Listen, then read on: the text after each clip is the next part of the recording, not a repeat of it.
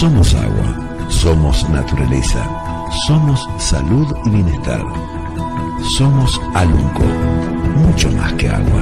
Nosotros tenemos junto con Bruno una visión de, de provincia y de región muy amplia. Creemos que tenemos que trabajar mucho juntos. Creemos que, sobre todo cuando las fiestas son fiestas populares, pero también son turísticas, eh, creemos que tenemos que complementarnos, que ayudarnos, que favorecer que el turista que está en Bariloche vaya a la fiesta del lúpulo, porque, y el, local también que ya va, porque lo que nosotros nos interesa es desarrollar la región, no solamente la localidad. Así que en ese camino es que lo estamos acompañando a Bruno hoy desde acá.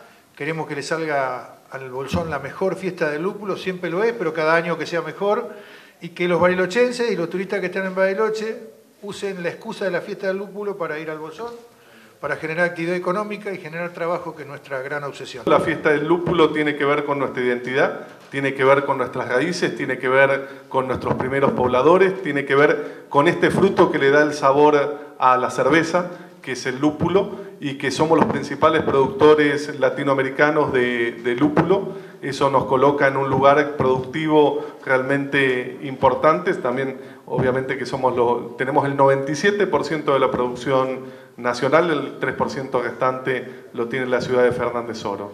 Así que aprovechar para, invitarlos, como decíamos, el Bolsón se viste de, fiesta el 21, 22 y 23 de marzo con artistas eh, nacionales de, primer nivel, eh, con un patio gastronómico, con un patio cervecero. Tenemos el febrero, perdón, dije marzo, febrero. Bueno, pueden venir en marzo también al Bolsón, que va a seguir estando lindo.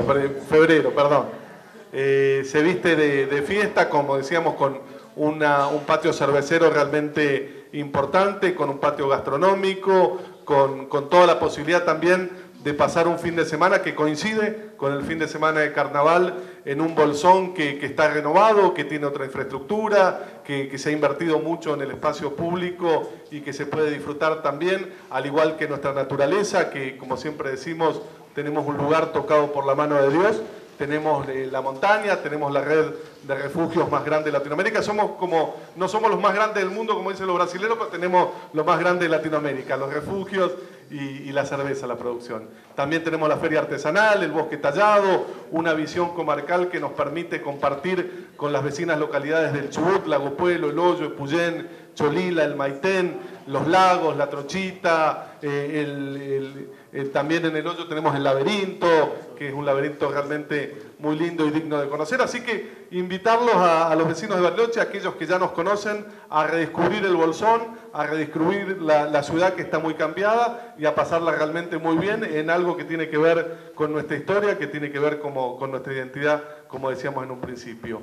Eh, el día viernes, como para contar un poquito también de los artistas que nos van a estar acompañando, tenemos a Joel Hernández, que es un folclorista del Maitén, una vecina localidad de nuestra localidad, que, que realmente eh, nos deja y nos pone en un muy buen lugar a nivel nacional, ha tocado en Cosquín, ha estado presentándose a nivel eh, país en muchos lugares. Tenemos también a Gapornis, el día sábado, la noche del rock, con las pelotas y con Ella tan cargosa, y el día domingo con la posibilidad de la música tropical que nos va a estar visitando el grupo Ráfaga. Así que invitarlos, decirle que el Bolsón los espera el 21, 22 y 23 de febrero.